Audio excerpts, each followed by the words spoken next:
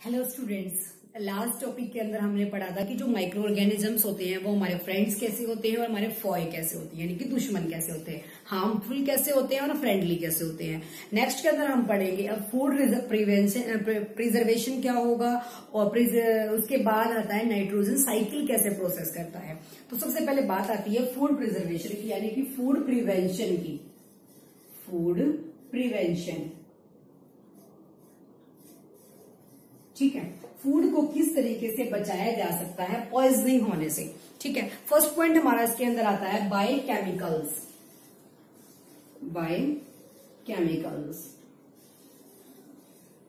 chemicals के through अब जो भी एडिबल ऑयल्स होते हैं या फिर एसिड्स होते हैं, वो पिकल्स एसिड कौन सा? ये नहीं कि कोई भी एसिड उठा के डाल दिया। एसिडिक एसिड जो विनेगर होता है, उसको हम पिकल्स के अंदर डाल देते हैं माइक्रोब्स को ग्रोथ के लिए चेक करने के लिए उसको। ठीक है? तो यहाँ सबसे पहला यूज़ क्या होगा? बाई केमिकल्स यानी कि जो एडिबल ऑयल होता है, खाने के लायक जो ऑयल होगा एंड एसिड्स जो एसिड्स होगा, वो किसके अंदर डाल देंगे? पिकल्स के अंदर डाल देंगे।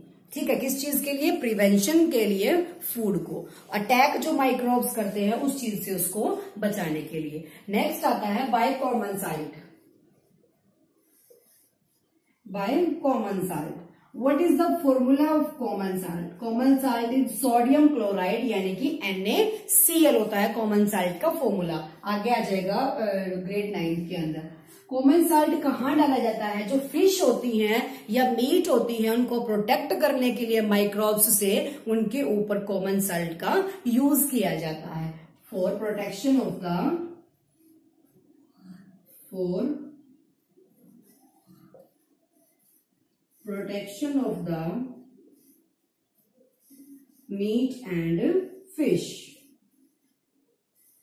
ठीक है? उसके बाद नेक्स्ट पॉइंट आता है शुगर शुगर से किस तरीके से? थर्ड पॉइंट हमारा आता है bye sugar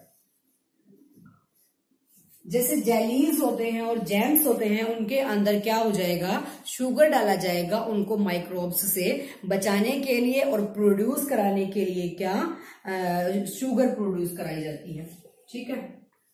jams and jellies के अंदर। शुगर का यूज़ होगा। उसके बाद फोर्थ पॉइंट हमारा आता है इसके अंदर। जो भी ऑयल वगैरह है एंड विनेगर है, वो पिकल्स को प्रोटेक्ट करने के लिए डाला जाएगा। ऑयल एंड विनेगर पिकल्स को प्रोटेक्ट करने के लिए। ठीक है?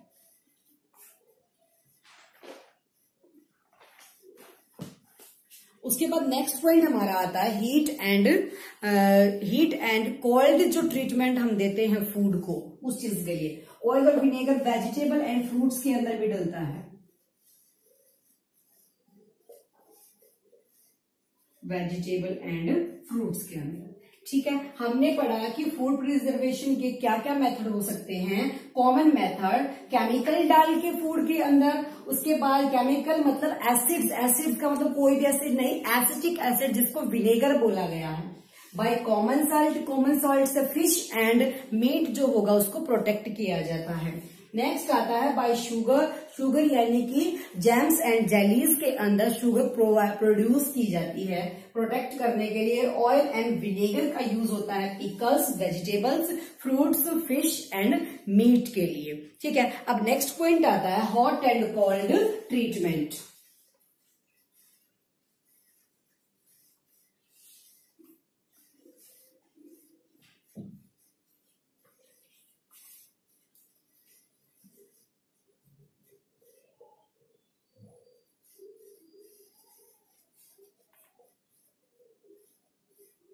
hot and cold treat hot and cold treat क्या होगा?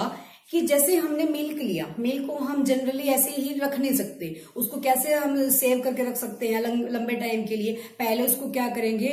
बॉईल करेंगे। बॉईल कर रहे उसका टेम्परेचर इंक्रीज हो जाएगा। फिर उसके बाद उसको कूलिंग देंगे। कूलिंग देने के बाद वो क्या हो जाएगा? रेफ्रिजरेटर उसके यूज़ हो जाएगा। तो हॉट बॉईल करके किसी भी चीज़ को, चाहे वो वेजिटेबल्स है या फिर वो मिल्क है, उसको बॉईल करके या फिर कोल्ड यानी कि रेफ्रिजरेटर के थ्रू उस चीज़ को प्रोटेक्ट किया जाता जाता है फ़ूड को पॉइजनस से बचाने के लिए। तो हॉट और कोल्ड के अंदर क्या आ जाएगा?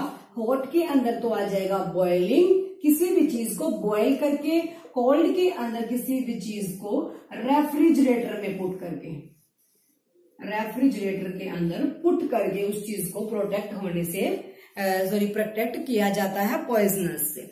ठीक है? अब नेक्स्ट पॉइंट आता है कि जो मिल्क होता है मिल्क का एक पॉस्चराइजेशन प्रोसेस होता है वो किस तरीके से? विदाउट बॉइलिंग यानी कि उसको क्या करना है? 15 टू 30 सेकेंड्स तक सिर्फ़ बॉइल करके उसको रख के एंड इंस्टेंट उसको कूल्ड करके कूल करके और क्या करना है हम उसको प्रोटेक्ट कर सकते हैं। इस प्रोसेस को पॉस्चराइजेशन बोला गया। Pasteurisation of pasteurisation of milk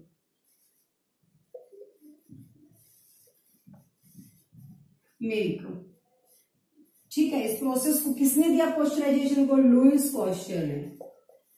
कि जो मिल्क होता है, उसको विदाउट बॉइलिंग भी हम प्रोटेक्ट कर सकते हैं। ठीक है नेक्स्ट पॉइंट आता है स्टोरेज एंड पैकेजिंग का।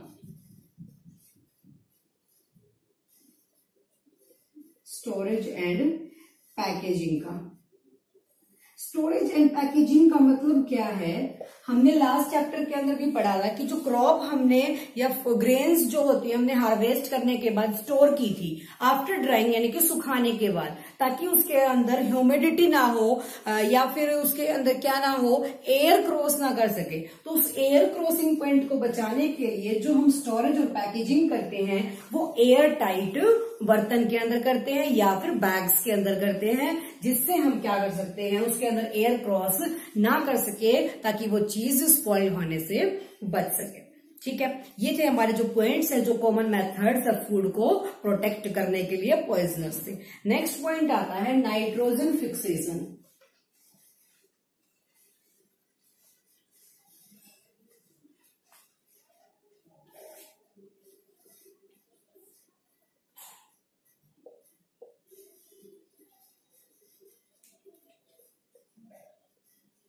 नाइट्रोजन फिक्सेशन के अंदर रिजोबियन नाम का बैक्टीरिया फिक्स करता है नाइट्रोजन।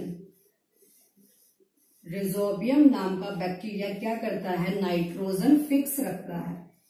ठीक है, इसको फिक्सेशन बोला गया। अब इसका ये इंपॉर्टेंट पॉइंट आता है कि what is nitrogen cycle what is nitrogen cycle देखो, हमने पढ़ा नाइट्रोजन के बारे में कि कुछ बैक्टीरियाज ऐसे होते हैं, वो नाइट्रोजन को एटमोसफेयर हमारे एटमोसफेयर के अंदर जो नाइट्रोजन की क्वांटिटी है, वो कितनी है? 78 परसेंट है हमारे एटमोसफेयर के अंदर।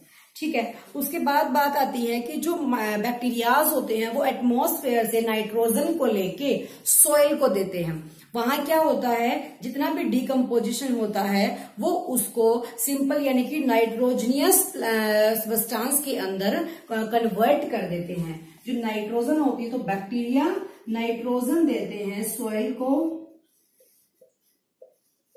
सोइल को। अब सोइल से वो क्या होती है? नाइट्रोजनियस कंपाउंड्स हो जाते हैं।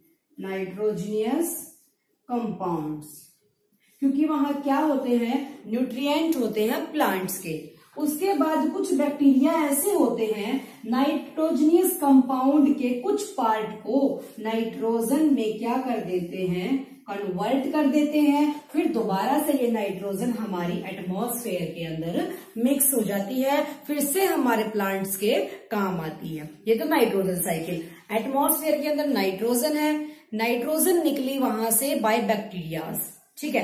बैक्टीरियाज ने आ, क्या किया? जितने भी जो डाई एनिमल्स होते हैं या कुछ भी होते हैं उन्होंने वहाँ पे नाइट्रोजनियस कंपाउंड को प्रोड्यूस करा दिया सॉइल के अंदर। तो कुछ बैक्टीरियाज ऐसे आए जिन्होंने नाइट्रोजनियस कंपाउंड को कन्वर्ट कर दिया नाइट्रोजन गैस के अंदर।